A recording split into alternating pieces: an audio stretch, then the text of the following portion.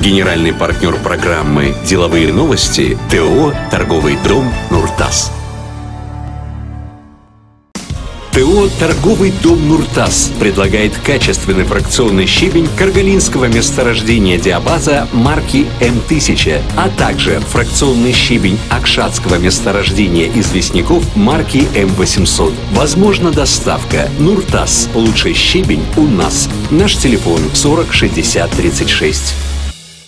На еженедельном аукционе Европейского Центробанка по предоставлению ликвидности банки еврозоны заняли у регулятора солидную сумму 21 миллиард евро. Это в шесть раз больше, чем прогнозировали эксперты. Причина заключается в сильных опасениях инвесторов из-за кризиса в Испании. Эти аукционы позволяют финансовым институтам региона одалживать деньги по нулевой процентной ставке сроком на одну неделю, чтобы выполнить свои текущие долговые обязательства. В результате в этот вторник 33 банка еврозоны получили от Европейского Центробанка банка самую крупную сумму денег с марта этого года. В итоге была сломана тенденция, согласно которой банки постепенно снижали свою зависимость от наличности Европейского Центробанка с 2015 года. Эксперты считают, что такое поведение европейских банков может быть признаком того, что финансовые институты опасаются колебаний на рынке финансирования. Если вдруг Каталония попрощается с Испанией, тогда банки региона будут потенциально изолированы и не получат доступа к ликвидности Европейского Центробанка.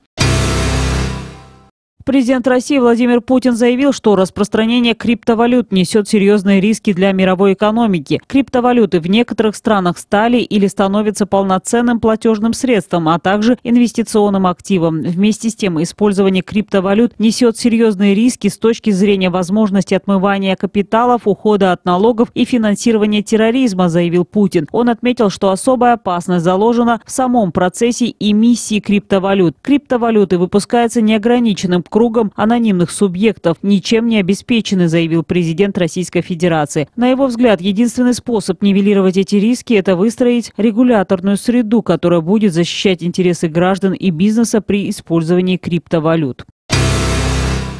Столица Греции 9-10 октября стала центром обсуждения важнейших вопросов развития торговли и транспортных коридоров между Европой и Азией, передают Казинформ. Первый в своем роде деловой саммит, организованный в Афинах под знаковым названием ЕС Евразия Китай, построение мостов с востока на запад, собрал в одном зале более 500 представителей ключевых государств, транснациональных и логистических компаний, ответственных за развитие транспортных коммерческих потоков товаров и услуг через Европу и КНР. Заместитель министра иностранных дел Казахстана Роман Василенко, рассказав о сопряжении инфраструктурных проектов Нурлы-Жол и «Один пояс, один путь», сообщил, что в республике за годы независимости построено более двух с половиной тысяч километров железных и около четырех тысяч километров автомобильных дорог. Создан современный сухой порт Харгос на границе с Китаем и модернизирован и расширен порт Актау на Каспийском море. По его словам, эти усилия создали возможности для открытия новых логистических ворот для перевозки грузов через Казахстан в Европу и обратно и увеличение транзитного контейнерного грузопотока через страну в 100 раз к 2016 году.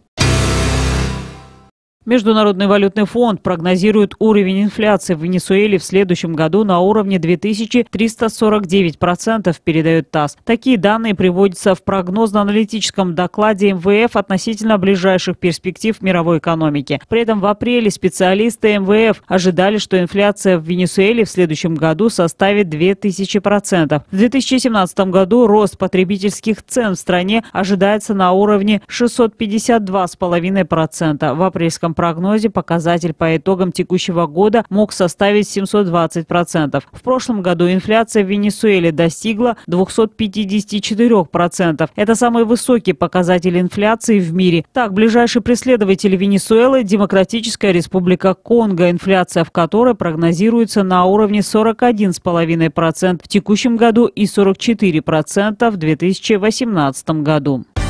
Генеральный партнер программы «Деловые новости» ТО «Торговый дом Нуртас». нұртас сауда үйі жауапкершілігі шектеулі серіктестігі қарғалы кен орнының м мың маркалы сапалы фракциялық тасын ұсынады. Сонымен қатар ақшат кен орнының белгілі м 800 маркалы фракциялық тасы жеткізу мүмкін. Нұртас ең үздік тас бізде. Біздің телефонымыз 40 60 36